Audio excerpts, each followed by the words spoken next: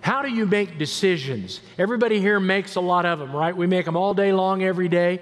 It's impossible to know how many decisions we're called upon to make, but all of us know we have to make them. Well, how do you make decisions? Maybe you are the type of person that goes by conventional wisdom. You know, conventional wisdom is you just ask yourself, what would the majority of people do? And, you know, sometimes that's the right thing to do because the reason the majority of people do it is it makes sense to do it that way tradition, whatever. So sometimes conventional wisdom is just the automatic best way to go.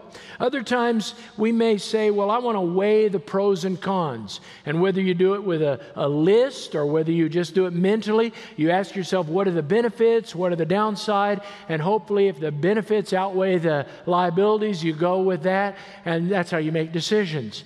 Or maybe you ask other people's advice. You say, What would you do? What do you think I ought to do?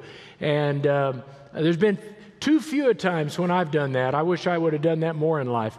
And then, of course, as Christians, we say, What does the Bible say? What does Scripture say? And I pray through what it is God is saying to me. Uh, or maybe you just flip a coin and say, Well, you know, let's see what happens, you know. But a while back, I was approached by a group of Christian leaders to get involved in a ministry. And automatically I thought, well, that'd be great. Uh, yes, of course. That sounds fantastic. And um, it was something I'd always thought about in the back of my mind. And I was just surprised one day when this group said, hey, we want you to be involved in this opportunity. I said, yeah, absolutely. The next day, all day that day, I was thinking, boy, here's what I'll do. I'll do. The next day, for no, nothing changed.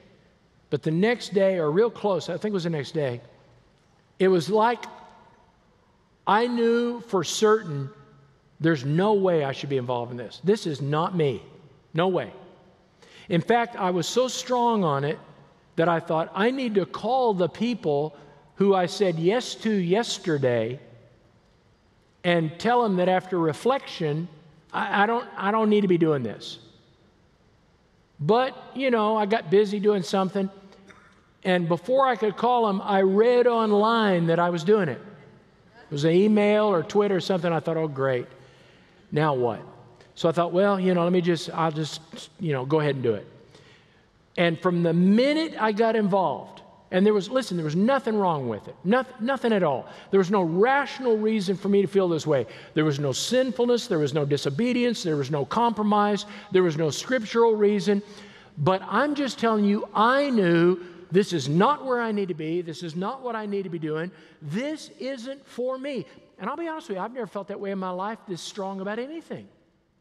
In fact, I've spent most of my life saying yes to things, and I'm trying to learn how to say no to things. But in this case, I felt absolutely like this is the wrong place, the wrong time. This isn't me. And some of you know what I'm talking about because, you know, while I didn't want to just quit because it's just not in me to quit, it's just not my nature, I just don't want to do that, it just seems like the wrong thing to do. I was calling people and saying, What do you think I ought to do? Shouldn't I quit? And every Christian leader I talked to said, No, no, no, you can't quit. You got to stay with us. So, what was the deal? I, am not exaggerating when I tell you, I felt like I was under a black cloud with this. Like I have really stepped into something that I have no business being involved in. And again, no sin, no disobedience, no compromise, no scriptural reason, no circumstantial reason why I shouldn't do it. It was a feeling.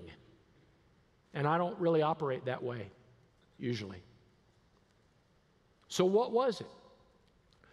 Well, when you strip away all the things that might have been and wasn't, you're left with just one truth. In my mind, I simply had no peace whatsoever about it no peace. And the truth of the matter is, God has given to every believer a built in navigation system, an onboard navigation system. And that navigation system is to guide us and to help us to determine whether or not we should do things, say things, where are the guidelines, what are the right and wrong things, how do we determine the will of God. And that built in navigational system is the peace of God. Can I get peace?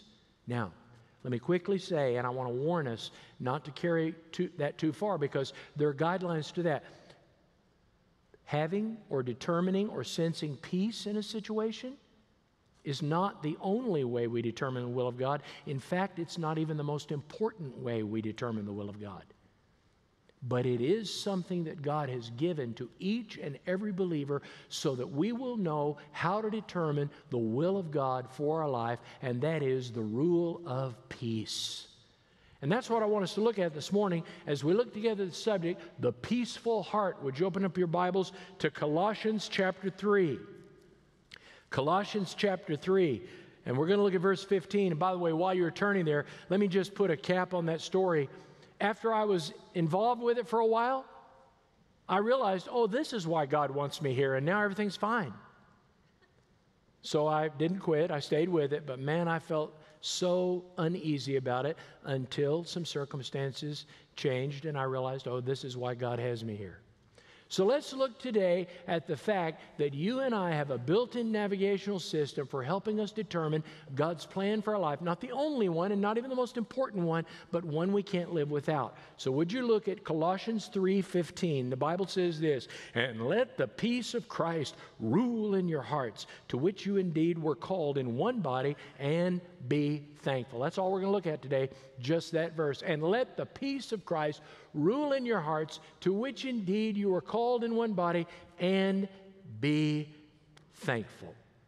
So, what is real peace? What is it? And how can you find it? How can I know that I'm over the target area of real peace in my life? Well, let me tell you where real peace does not come from. Can I do that? Are you ready? Real peace of mind, real peace of heart, knowing the peace of God does not come from financial security. You say, wait a minute, you crazy man? What are you talking about? Well, uh, having more money does not give you peace, God's peace.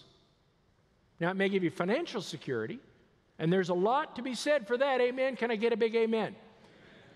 But my dad used to have a little plaque. My dad was in business. He had a little plaque on his desk. He said, Money can't buy happiness, neither can poverty. Because the truth of the matter is, those things, that which we accumulate, really does not speak to the deep issue of our lives, and that is, how do I have the peace of Christ? Because uh, you can have much more than you've ever had before and have more anxiety, more disunity, more disruption, and more uh, pressure and more worry than when you had nothing at all. A person who has very little can be filled with the peace of God. And a person that has a whole lot can be disrupted all the time. So, having financial security is really not the source of peace. And may I just say this tenderly, lovingly, gently medication is not the source of peace. Now, really, this isn't a joke. There are so many of us who need something from the medicine counter to help us cope with life. And when you need it and when uh, credible people, uh, you know, prescribe it, it can be helpful. But those things which level you out and give you the ability to cope with life on a day to day basis, never mistake that for the peace of God. Not only that, the approval of others does not give you peace. So many of us spend our lives just want to make sure, oh, I want everybody to like me. I, I, I don't want to be the one to break it to you, but can you look at me real quickly? I like you. But listen, not everybody likes you. You say, what? If you think everybody like if you think everybody likes you, you don't know enough people. so if you spend now don't misunderstand me. The Bible says a good name is to be chosen above silver and gold. So the Bible says that John the Baptist grew in stature and favor with God and man, and that Jesus had the favor of all the people. So there is definitely an advantage to being liked over being disliked. I've tried them both, amen.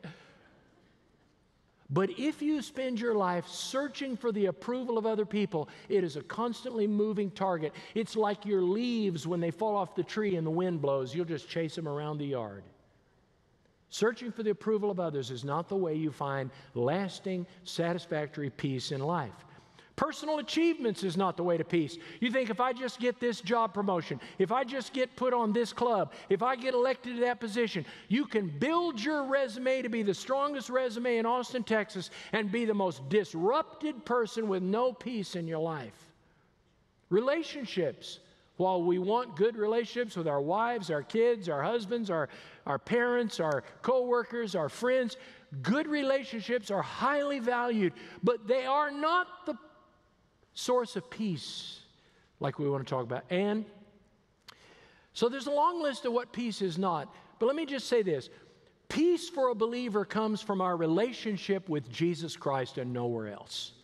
That is really the source and the only source of our peace. All these other things are really very good blessings that may come along with it. I like what C.S. Lewis, the Oxford and Cambridge University literature professor, once said God cannot give us a happiness and peace apart from Himself because it is not there. There is no such thing. So, what is it? If we know what it isn't, what is peace? Well, we know it's a gift from Jesus. Peace is a gift from Jesus. Because remember in John 14, verse 27, Jesus said, Peace I leave you, my peace I give you. Not as the world gives, do I give you. Do you understand that what Jesus is saying is this? That Jesus Christ in the flesh walked in, lived in, exuded peace. And when you and I are connected with Him and aligned with Him and in relationship with Him, we are benefiting from the peace that He has. That's why He said, I'm not giving you a peace that's never existed before. I'm not giving you a unique peace that is unique only to you. He said, My peace I give to you. In other words, I am a person of peace. He's called the what? Prince of what? Peace. And He said, I've lived my whole existence in peace.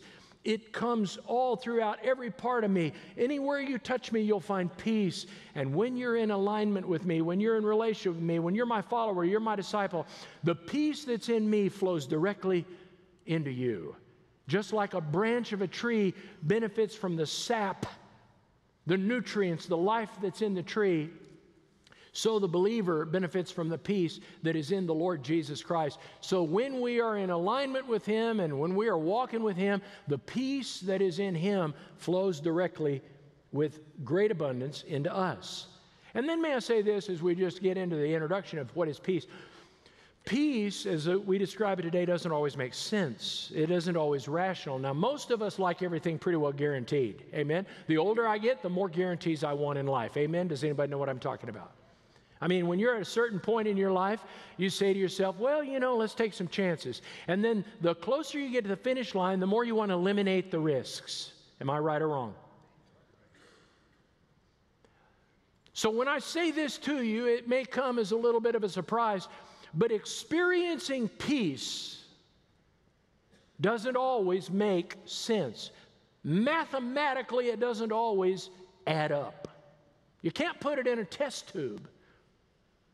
And the reason I say that is for this. In Philippians chapter 4, verse 7, Paul said, And the peace of God, which surpasses all understanding, will guard your heart and mind in Christ Jesus. Sometimes peace doesn't make sense. Let me give you an example. I've been walking with the Lord for more than 40 years now. And I can't tell you the number of times when I've been called into a hospital room when a friend of mine or a member of the church or a believer who I, maybe sometimes I don't even know has just received the worst diagnosis possible. And I can tell you as a pastor, and it doesn't matter who the pastor is, could be me or any number of the pastors you've ever known, every one of us walking into that situation walks in with a spirit of hesitation, wondering, what in the world am I going to say? In a moment like this. And I cannot tell you, I mean, it is beyond my ability to estimate the number. I cannot tell you how many times I've walked into those tragic situations of loss where there should be fear and panic and chaos. And I've had a believer look at me after receiving the worst possible news and say, But I'm at peace. And you know it. And you know it. Because the kind of peace I'm talking about just doesn't always make sense because it passes understanding. And, and you may say, well, I don't like that. I like things to make sense. Well, at some point, I hope you get to the place where you're thankful to God there are some things in life bigger than what you're able to comprehend. There's great comfort in knowing that there's some things that are much bigger than you are. And then I would also add to you that when we're defining what peace is, it's part of the fruit of the Spirit. Because in Galatians 5:22 the Bible says, "And the fruit of the Spirit is love, joy, peace, patience, uh, long suffering." Look at the great company peace is in. When you think about all these attributes that you want in your life, love and joy and patience, well, you don't want any patience, but all these other things you want. And one of those benefits is what?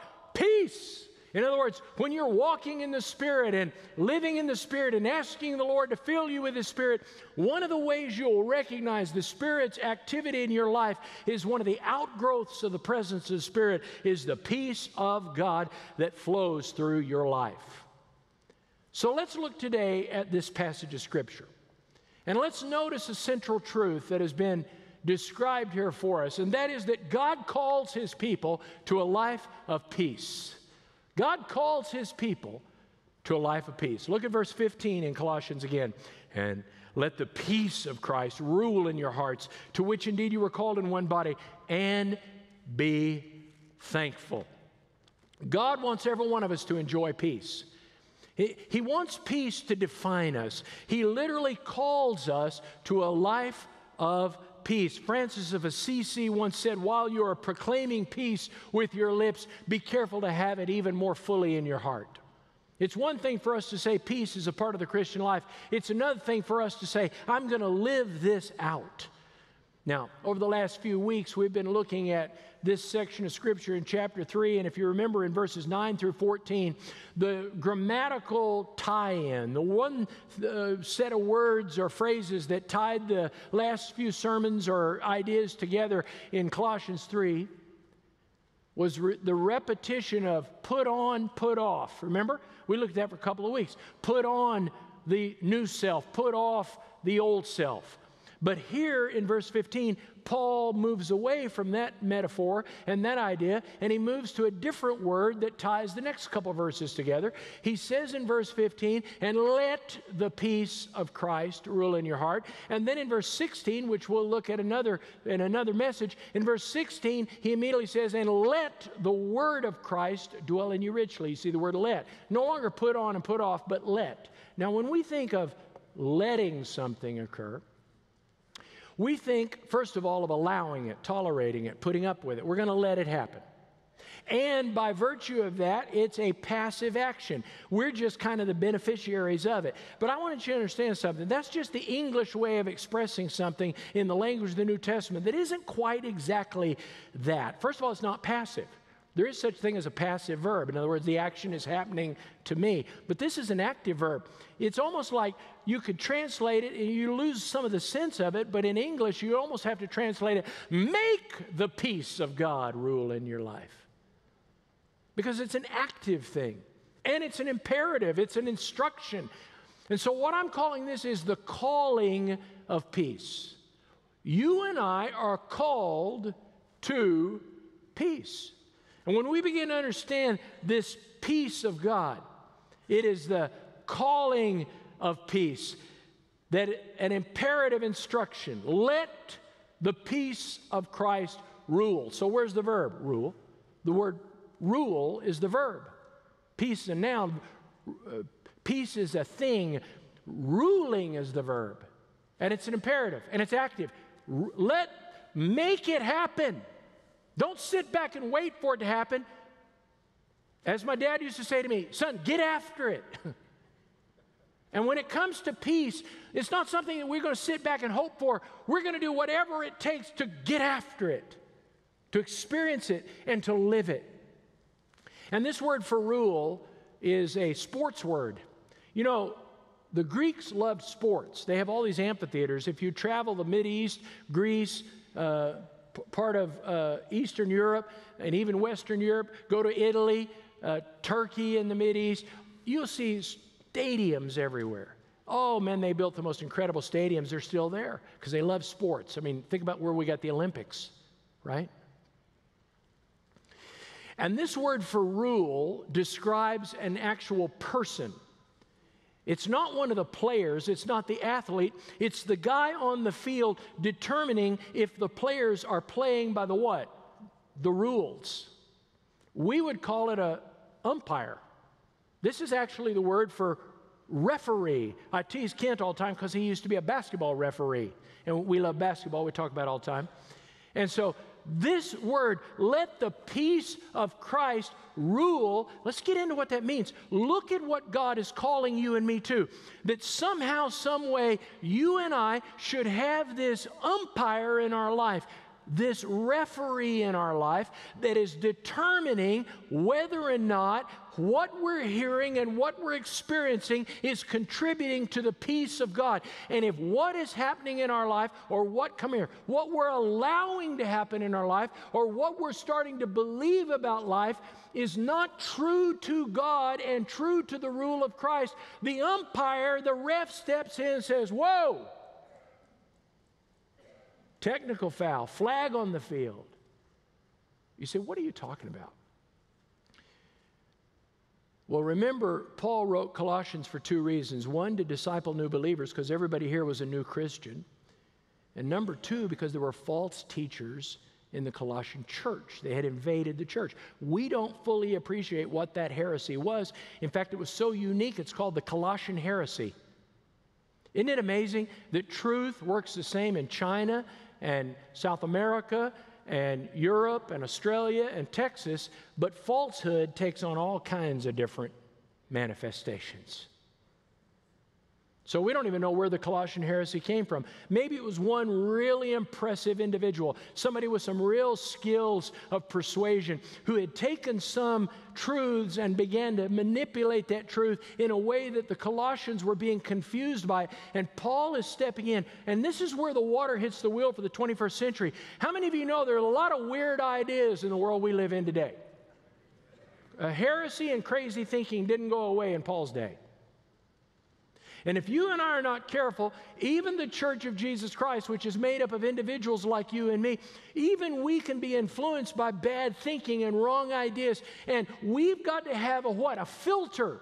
We've got to have a grid by which we filter out the wrong from the right to allow all the right to come in and all the wrong to be filtered out. And of course, our main filter is what? The Word of God. But when a false teacher comes with a passage of Scripture and begins to manipulate that Scripture in a way that you say, Well, I've never heard this before.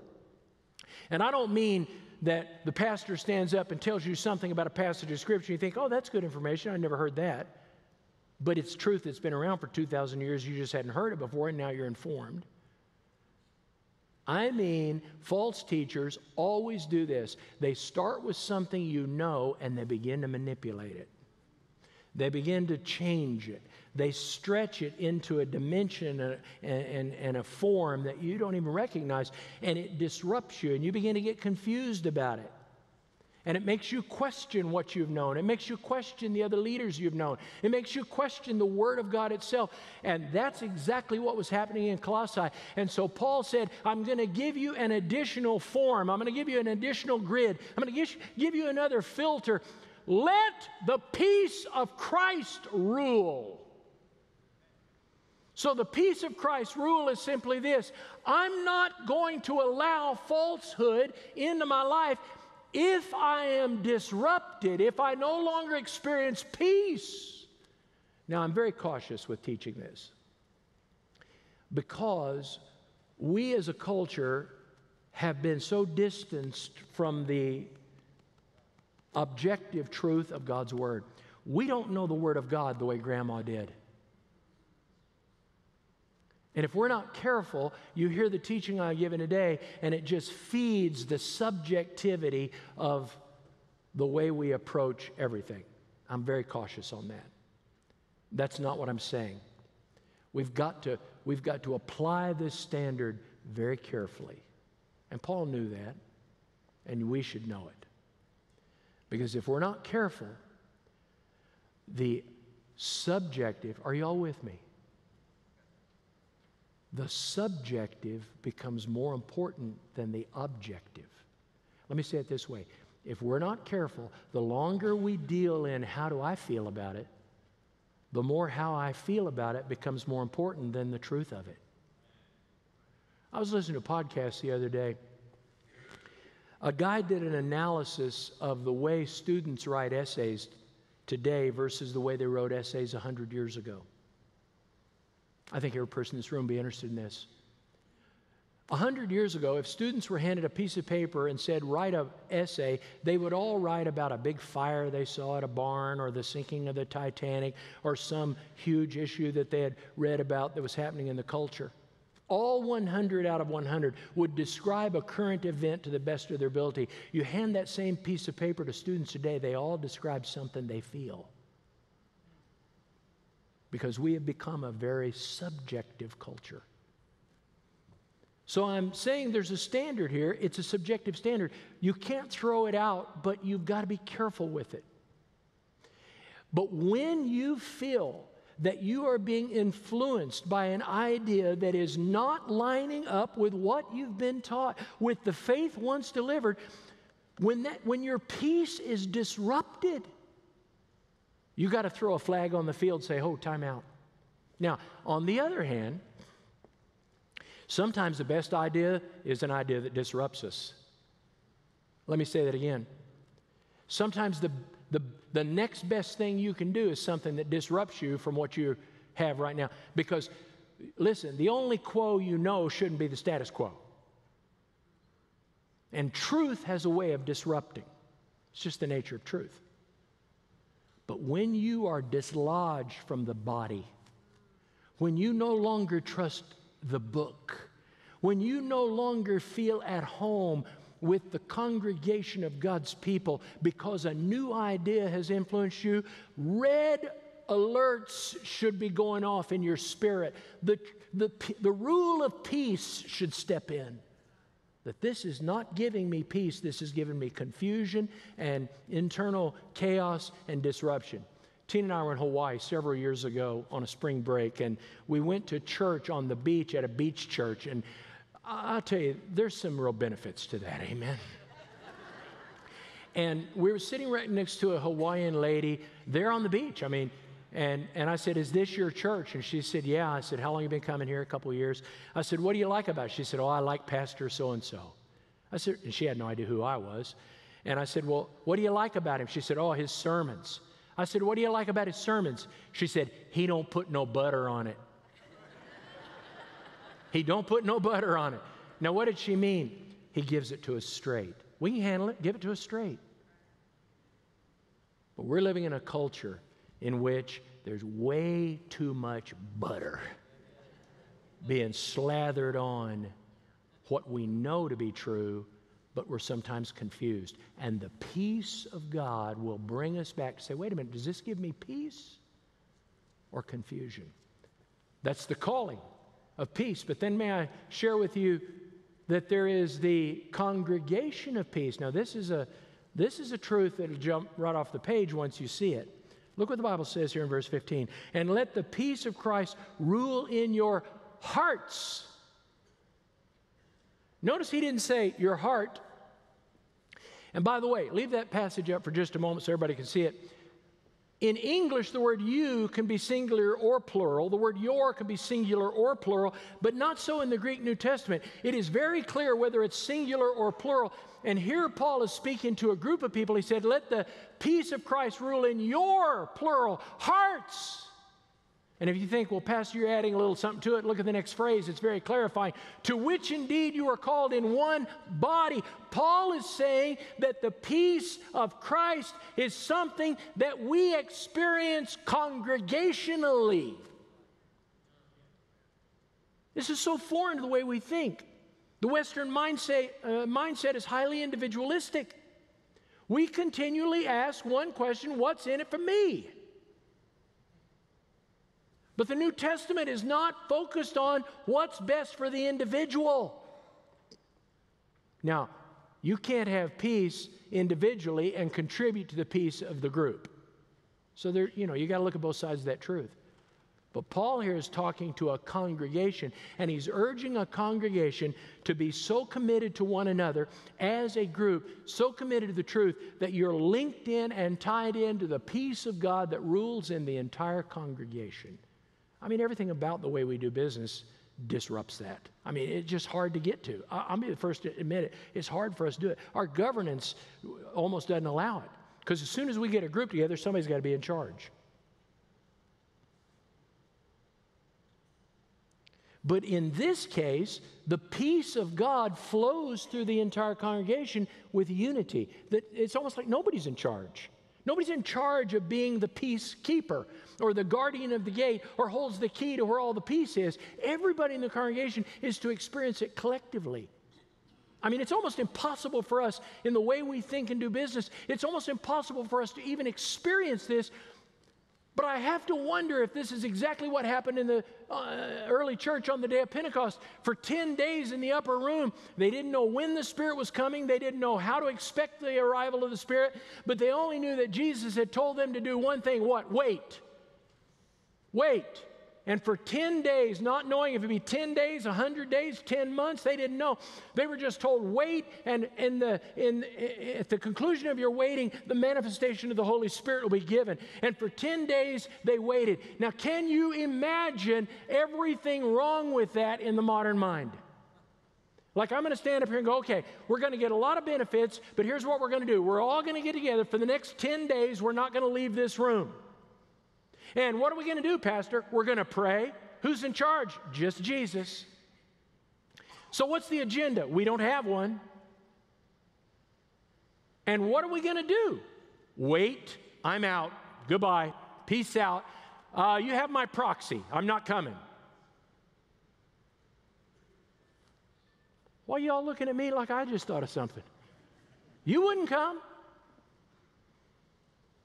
Because we have gotten so individualistic in everything we do that we stand our ground and say, This far, no farther, this is what's in it for me. And if this congregation does not, well, let me just talk while I'm in the neighborhood. If this congregation doesn't meet my needs, peace, I'm out. Now, I'm not suggesting that a congregation should be abusive, abrasive, and difficult for a place for people to find fellowship. It's the opposite of that. But at what point does our individualism become a restrictive obstruction to our ability to really flow in the Spirit and experience everything God has for us? Paul's talking to a whole congregation. He said, Let the peace of Christ dwell in your hearts because indeed you have been called to one body. And then let me just show you real quickly the consequence of peace. Can I show it to you? It's in verse 15. Look at it. Verse 15 says this Let the peace of Christ rule in your hearts, to which indeed you were called in one body, and be thankful. Now, if you're like me, it looks like he's introduced a new idea. Because be thankful looks like another verb, right? Let the peace of Christ rule in your hearts. There's one verb. And be thankful. It's like a new idea, but it's not. It's not. Now, Paul loves the word thanksgiving. It's going to occur again in verse 16, it's going to occur again in verse 17. In fact, it occurs all throughout the book of Colossians. In fact, it's a verb in chapter 1, verse 3, and in chapter 1, verse 12, and in chapter 3, verse 17. It's a noun in chapter 2, verse 7, and in chapter 4, verse 2. But the only place in the entire New Testament where the word thankful is an adjective is right here. Now you say, Pastor, it's been a long time since eighth grade grammar, so remind me again, what does that mean? Here's what it means being thankful is not a new idea. Thankfulness here describes the main verb, which is let the peace of Christ rule. This describes what the rule of peace looks like in our lives. It looks like a grateful people, a people that are full of gratitude. In fact, this is not that revolutionary of a concept, but it's only recently come to me, and that is this life is too short to be a grouch. Life's too short to be a grouch. You know, griping, whining, and complaining is not a spiritual gift. Amen. When you and I are living by the rule of peace, when we really have peace in our hearts and peace in our lives, one of the ways we're going to recognize that in each other, there's going to be so much gratitude and such a spirit of thankfulness in our lives. We're just going to be we're just going to be so thankful for all that God has done instead of constantly whining, complaining, griping, criticizing about what hasn't happened yet and about what we should have had that didn't happen and why it worked out for somebody else and not for me. Instead, we're going to live our whole lives going, Thank you, Lord Jesus.